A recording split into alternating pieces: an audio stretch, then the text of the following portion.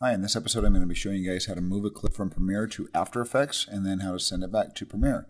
It's pretty simple. It's uh, pretty uh, nicely set up so it can do what's called round tripping or dynamic linking and this works quite easily. You can simply send a clip over to After Effects by first of all right clicking on it and I'm going to Alt or Option right click on this clip here so it just selects the clip and not the audio that belongs to it. So I'm just going to send the video over to After Effects and you can simply hit replace with After Effects composition. I'll show you a couple options with this. First of all when you right click and do replace with it After Effects composition it will load After Effects and then once After Effects is loaded it will ask you how you want to save this project.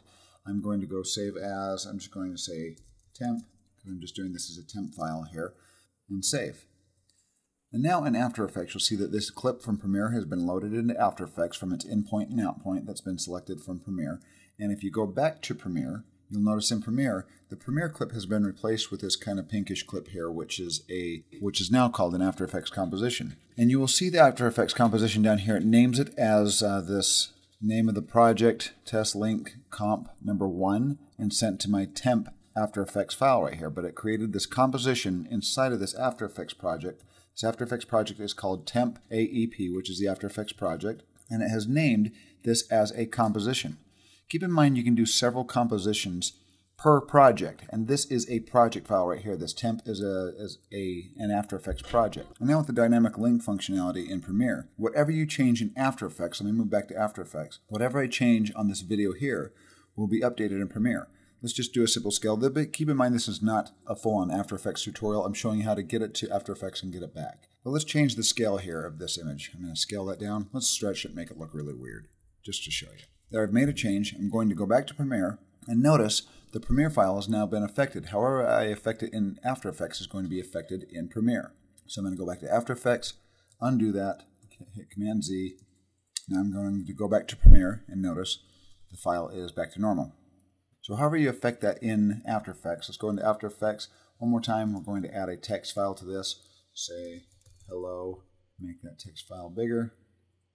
There we go. We've added this text to the video as its own layer on the composition down here. This is your composition that is added to this project up here. So you now have got that text on there. Go back to Premiere, and boom, it's been added.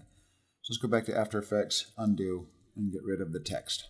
Now keep this in mind. As we keep that project open, this After Effects project open, if we send another clip over from Premiere, I right-click on one other clip, and we do replace with After Effects composition, notice what it does here in After Effects, it has added a new composition here. We have the, old, the first composition I sent in here, and now we have the next one here, which is composition number three here. It's added another composition, so I've got the original one that I sent over, and now I've got the new clip that I've sent over, all added to the same project file, to that temp project file. If we go back, you'll notice down here it says now we have comp 3 that is added to the temp project right down there. So now, same deal here. Whatever we do to affect this in After Effects will affect it in Premiere. Let's show one other function, then we'll show kind of a practical use of sending this over to After Effects. And by the way, if I want to send a clip over to After Effects and I actually close After Effects, I'm going to save the changes here and close it. And now if I send a new clip over, while After Effects is completely shut down, I'm going to replace with an After Effects composition. It will not add it to this temp project file, but it will ask to add it to a new project file. And I can name this. I'll name this temp number two and save it. And now this has been saved into its own project file with a composition inside of its own project file. I'm to close that out. Yeah, I'll sure I'll save it. I'm going to undo and get rid of these compositions that I've created in After Effects. So just keep in mind that as you add files, as you add clips to After Effects, if you want them put into their own compositions, they will be put into the project that you currently have open if you have that project open. So if you want to keep them all in one project file, that's fine. Or if you want to keep them as separate project files to keep them organized, that's fine as well. It works either way. Now, keep in mind that you can also add, you can send several clips over at once. Say we're going to do some composite. I'm going to grab this file, I'm going to hold down Alt and drag it up over the top of this one. So we have two clips on top of each other. Let's slide this one over here. And notice that this will cut from here up to this clip as we play through this clip. There we go. But say we want to take these two clips here and we right click and we replace with an After Effects composition.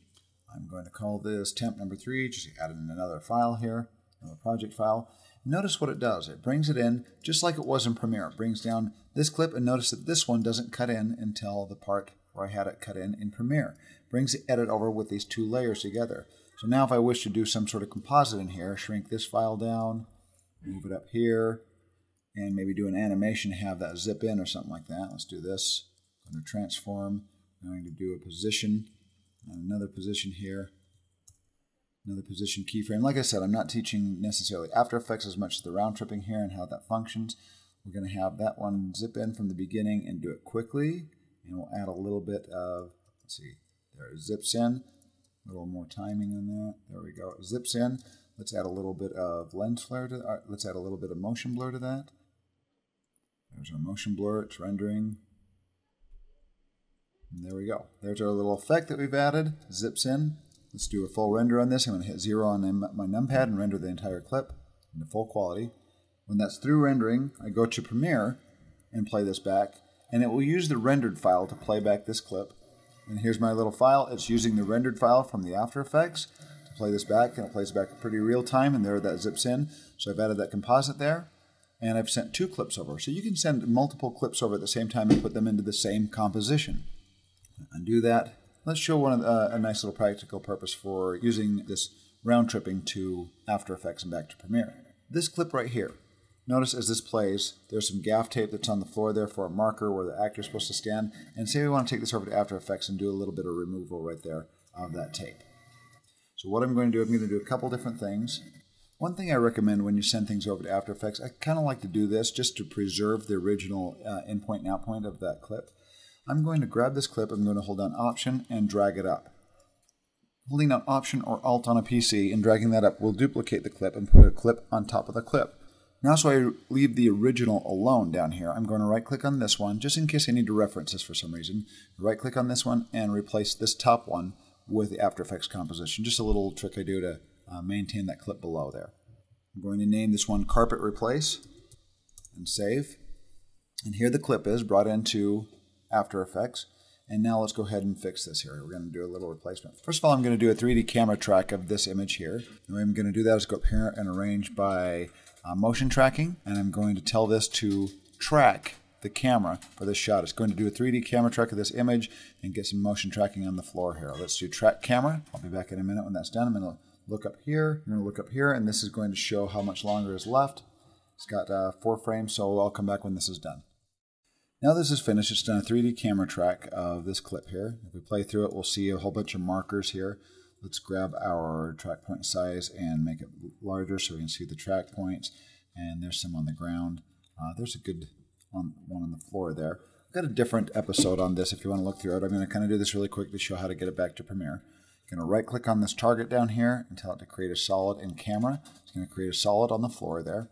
I'm going to turn that solid off right now. I'm going to go back to Premiere. I'm going to grab a still image of this right here to grab a carpet sample. I'm going to grab a little picture here, browse, save this into my file, save this onto my hard drive, call this carpet, go back to After Effects, go back to my project, import that little still image right there. And now I'm going to turn this track solid back on.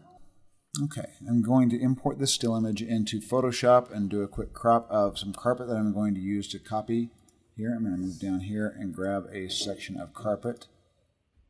I'm going to move over and copy over that tape That should be big enough there.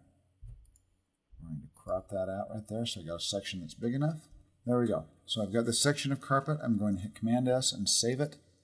I've got that little section there to cut out and replace. I'm going to go into After Effects, import that JPEG.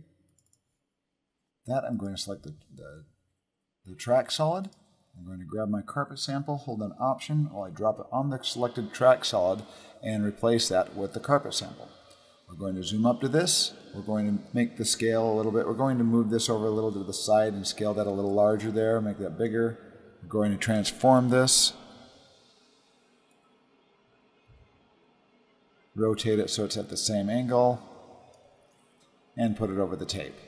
Now it's over the tape. I'm going to double click on the carpet and just soften the edges. Put a mask around it and soften the edges. And now the carpet has been covered up. I've got this little carpet sample that's over the top of that track mar marker there. Now as I play, use the 3D camera tracking to mask out that carpet there that could be softened a little bit more, but that's basically the concept. So we've replaced that tape there. It's pretty decent. It needs to be like lowered and blended in a little bit more, but that's pretty much gone now. Now that tracking tape is gone. So now that I've done that effect, I can hit Command S. I've got all these layers in the composition. Hit Command S, and that will save. And I go back to Premiere, and boom, that's gone. Let's render this in After Effects. Hit zero to render my whole on my numpad to render the whole thing. It's rendered. Command S to save. Go back to Premiere, and this file has now been replaced. And as it plays back, notice the tape is gone. So there's a nice little practical way of using After Effects, just using the round tripping to After Effects. You send it to After Effects, and then send, and then when you save that file, it'll update in Premiere and update your composition. So pretty simple. You can send over multiple clips if you want to, put them into one composition. You can do some pretty cool stuff, uh, sending it to After Effects and bringing it back to Premiere. If you have any questions, please post them, and I'll see you on the next episode.